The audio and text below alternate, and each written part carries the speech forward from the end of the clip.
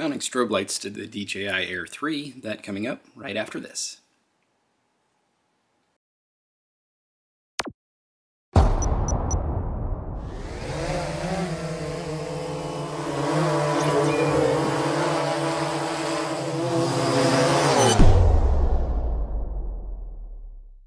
Hey guys, welcome back to the channel. If you're new here, my name's Ryan. On this channel we do a lot of tips, tricks, and reviews, mostly drone and photography related.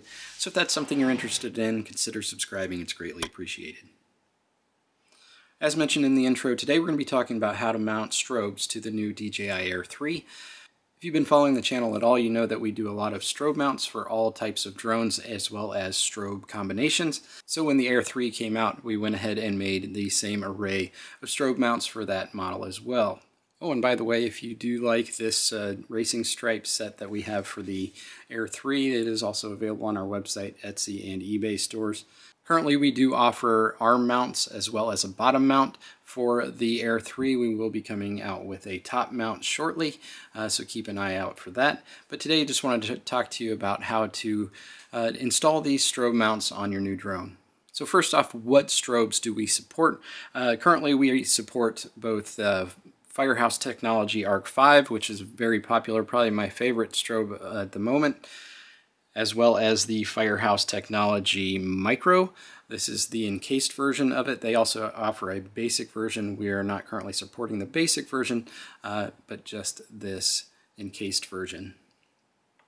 Next up for a lot of you overseas that can't get the uh, the Firehouse line, we do offer mounts for the Flytron strobes. This is the C2 strobe and the C1 strobe, uh, so we have mounts for those. And we currently offer mounts for the ViFly strobe. Uh, this is probably uh, my next favorite strobe over the uh, Firehouse line, so if you can't get any of the Firehouse ones, I highly recommend these. I did do a uh, kind of an overview of all these different strobe types uh, in another video. I'll leave a link up in a card here uh, so you can watch that after you're done watching this video.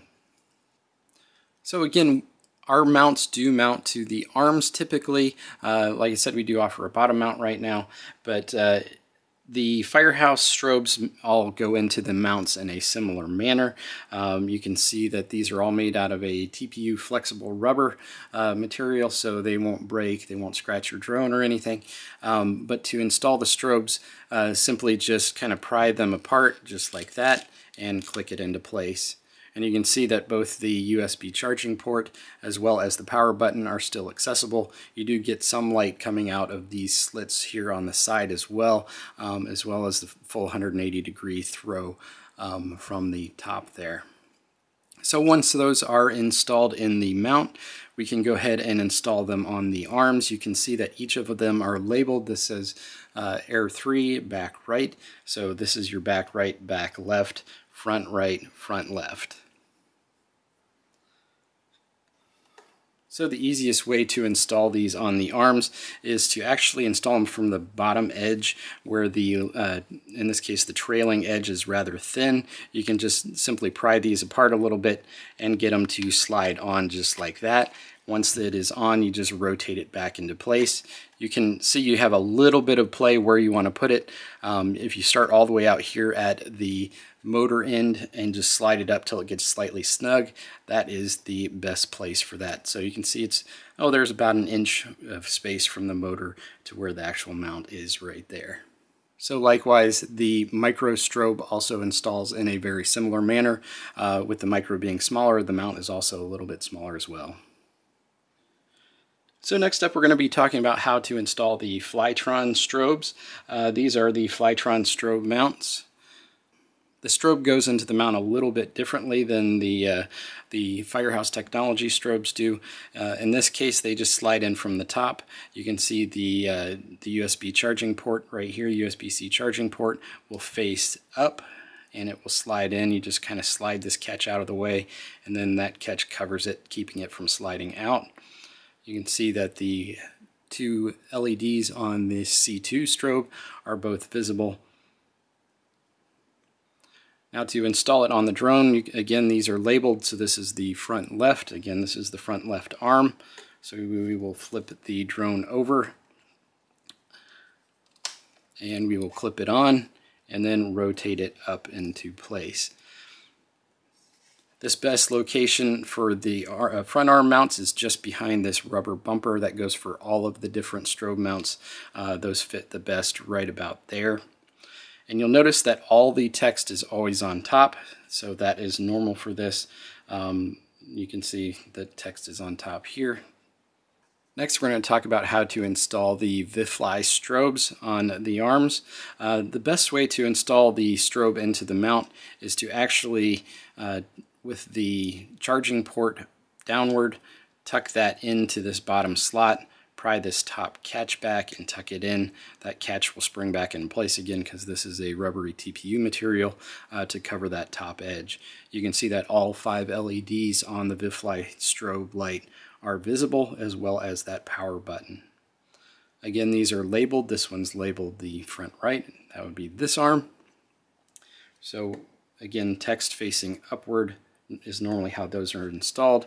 We will install it on the leading edge here. Just slide it on until it clips into place and rotate that around. And again, just behind this front cushion bumper right here. Lastly, we're going to talk about how to install the bottom mount. Uh, the bottom mount we have available with uh, all these same strobes. Um, if they're not up yet, when this video is released, they will be up shortly. Um, we start out with the ARC 5 because it is the most popular and we kind of work our way downward to the less popular strobe lights. If there are some strobe lights you would like us to support, just let us know down in the comments and uh, we'll try to support you in that way. Um, so again, just like how we installed the strobe into the mount for the arms, we, installation into the bottom mount is very similar. Just clip it in, kind of pry the top portion apart, and there it is in the mount. Before we go ahead and install this on the bottom, I just wanted to uh, show you how this is labeled. You'll see that there is the word front and there's an arrow, so obviously that's going to face the front of the drone. Um, that is where this finger catch release is uh, right here. That will go toward the front. So to the, install this on the bottom, it does clip right here where this label is, this 81dB label. Um, again, keeping in mind which side is facing forward, which is the side with that finger uh, release. We're going to clip the back on.